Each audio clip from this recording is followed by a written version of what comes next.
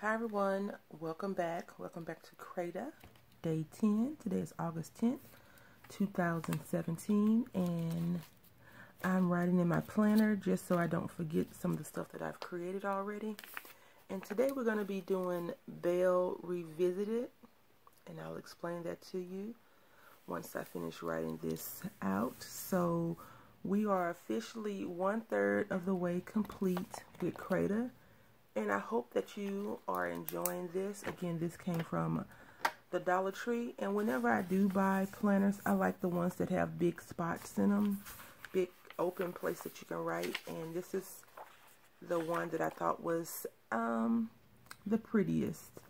The other one had pretty colors, but this one, even though it's pink and black, it had it was simple yet pretty. So what we're going to be doing today is revisiting a Christmas in July project. I showed you this on one of the Sundays that I did the Christmas in July hop that we just finished up in July and this is the one that has the Christmas tree laying on its side and I said that I would show you what I did to construct the bell. I'm not going to put everything together because um, it's not needed. What I'm going to share with you is what I use, which is this, and these come in six pieces from Dollar Tree. I'm quite sure any dollar store have them. You may be able to get them at a big box store like Wally World, Target, Michael's, Joann Fabric. I may try to get another project in since this one should be fairly quick and easy, but if not, then I'll put this to the side. All that rattling you hear in the background. And do that tomorrow or Saturday or Sunday. So I do have some of the little houses that I have left over. And this comes from a die, a stamp and die set from Michaels. A lot of you ladies commented that you had these already, which is great. Um, and as you can see, once you die cut it, it already has the folds, how you're supposed to fold it over. So I'm just going to show you that really quickly. And right here it has these two little dots. The first time I did this, um, even though I think I'm very, very, very good with piece and paper together, you know, like from little dolls, I was like, what did they do? Is something wrong with it? But it's not. This is supposed to be a roof, this piece right here. So all you really need to do is fold it over and where you have your flaps, you just put glue on there and connect it. And this, the, I'm not going to pull out the stamp set because I don't have it next to me. But you fold it over and as you can see what I did, what I did was I stamped it out after I cut it because I like to make things complicated. But I would definitely recommend that you stamp this first and then cut it out because it's so small. And I'm going to pull out some glue. Hopefully I have some handy. I've been contemplating getting the art glitter glue. Um, and I think I've been contemplating it for the wrong reason. I've been contemplating because it has that little metal tip. And a lot of my glue doesn't have metal tip. It has the tip that comes with the glue. Not a big deal. As you all know, one of my favorite wet glues is the Aztec wet glue. I just don't care for their tape runner that much. And I'm quite sure it's probably operator error when it comes to the tape runner. Um, which is okay. Nicholas has not been fed. That's my that's my new disclaimer, right? I didn't feed my cat. Um, so he may get a little bit silly. I do want to tell you all that I think I touched on it a little bit yesterday. I'm not feeling well. I've done something to my body. I've been, it's not like flu where you don't feel well, and if you do, I must have walking flu. Excuse my shakiness. I, um, you may not be able to tell, but I can definitely tell that I have the hippie hippie shakes. Um, so what I do is I just glue all the pieces down. And again, this doesn't have to be perfect for today because I am not really going to be trying to create everything. I'm just going to show you the construction. And if I was a good crafter, you know, like when you watch those craft shows on PBS or um, Create, because that's what it comes on PBS, and they have a, a channel, a cable channel that's called Create, where they show you different craft projects or hobbies.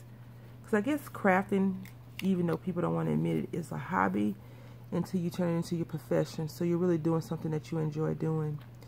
And this glue is wet glue. And wet glue doesn't dry that quick unless you're using something that's like quick drying. And this is school glue. So school glue, in my opinion, has always kind of dried fairly quickly. Again, I have a ceiling fan over my head, so it should dry well. I would have used the Dollar Tree glue because it dries really, really quickly.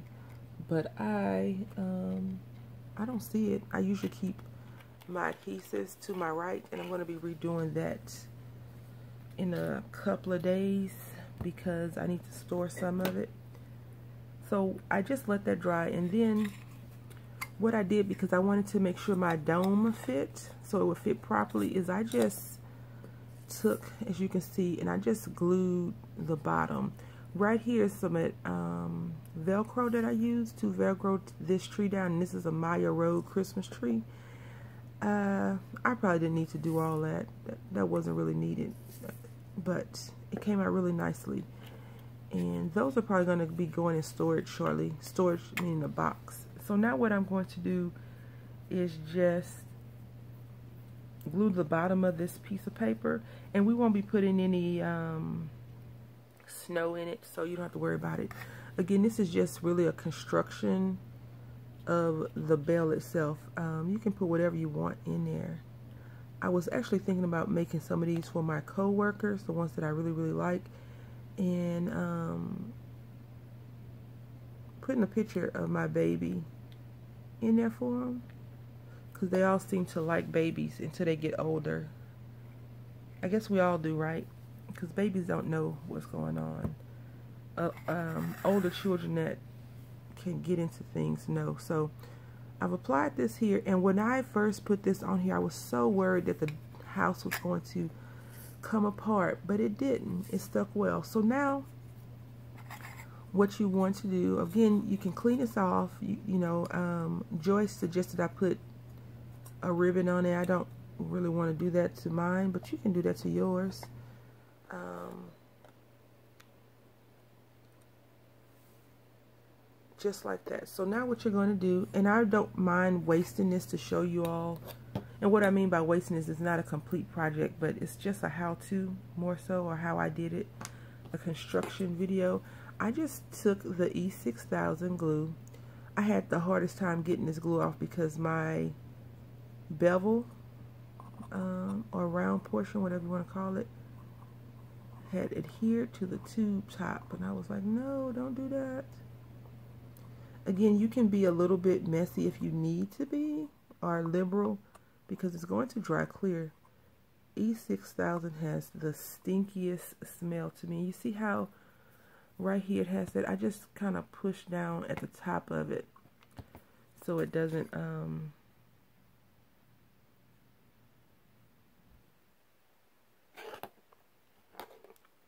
leak out. And then I just push this down just like that. And if it goes in it means one side is not straight. And so once you get it I kind of just sit it in between my legs and um, work on another one. Let me clean my mess up. Okay so while it's drying you're probably thinking what am I gonna do with it? And what I did to try to hide or cover up the glue even though it's to dry clear and if you have snow in here it's going to dry clear and I just kind of ran my finger around where, see, my house fell off, which is horrible. So this is a tornado house. Unfortunately, I destroyed it. Or maybe it can be the house that Dorothy was in from Kansas. Let me just leave it like that so it'll dry. But what you can do is take your finger, see how you have these little glue beads, and run it around also what I did was I just took some rickrack and applied it around the edge. And I believe yep I used hot glue for that one. But what I've been doing as a cheat kinda is taking my double-sided tape and putting it down on the ribbon itself and applying it. So this is what we've done today which is a craft revisited I hope you've enjoyed it. It's just a quick how-to So you can go from this to this to complete. Thank you all for watching. Happy crafting.